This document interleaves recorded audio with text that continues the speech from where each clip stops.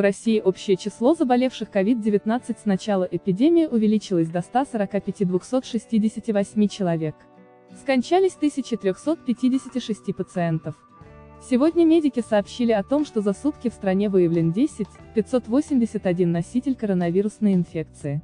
Этот показатель оказался немного ниже, чем было вчера, тогда зафиксировали 10 633 новых пациента.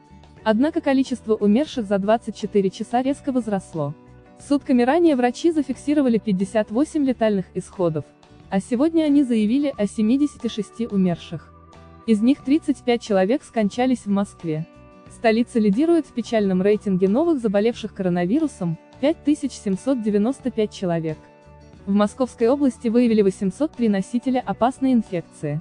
Далее следуют Санкт-Петербург, 317, Мурманская область, 280, Дагестан 160, Нижегородская область, 157 Кабардино-Балкария, 105, Ямало-Ненецкий АО, 104 Брянская область, 102 Краснодарский край, 96, Татарстан, 86, Ростовская область, 85 пациентов.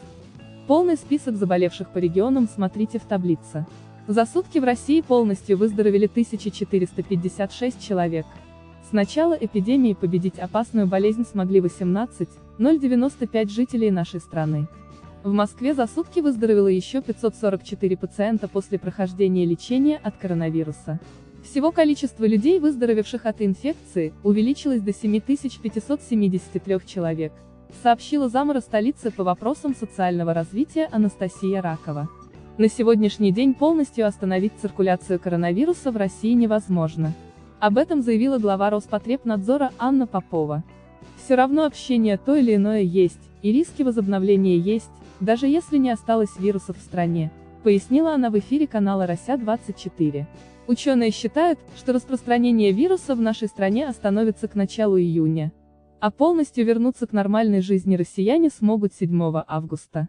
Коронавирусом заразился премьер-министр Михаил Мишустин. Он проходил лечение в больнице. Заболела и народная артистка России Татьяна Васильева. Однако она покинула клинику. Кинозвезда призналась, что ее шокировала ситуация в больнице.